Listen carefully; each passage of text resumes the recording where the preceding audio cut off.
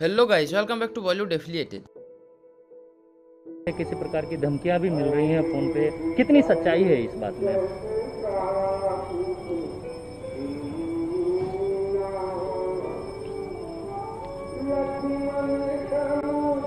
हम वक्त पे बताएँगे।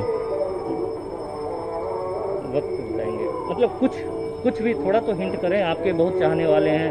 उन लोगों के लिए तो कोई मैसेज होगा कि क्या वाकई आपके ऊपर आपके जीवन को खतरा है या इस तरह की कोई धमकी आपको मिल रही है कहीं से? जो भी है हमारे देश के बच्चों के लिए भविष्य के लिए अपने भारत के लिए फ़िल्म इंडस्ट्री के बच्चों के लिए युवाओं के लिए हमने आवाज़ उठाई है।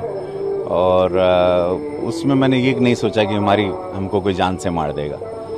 अगर कोई मार भी देता है तो देश के बच्चों भविष्य के लिए अगर दो पाँच गोली भी खा लेंगे तो कोई चिंता नहीं। नहीं तो ऐसा क्यों नहीं करते कि ओके गाइस आज का वीडियो इतना ही। और कोई अपडेट मिले तो मैं आप लोगों से ज़रूर शेयर कर दूँगा।